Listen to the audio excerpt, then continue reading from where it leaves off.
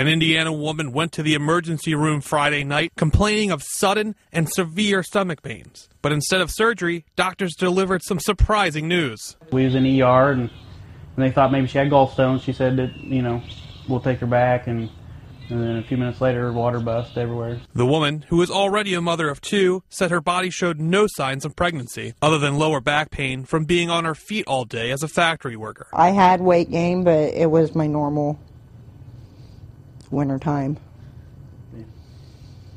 weight gain, so I was shocked.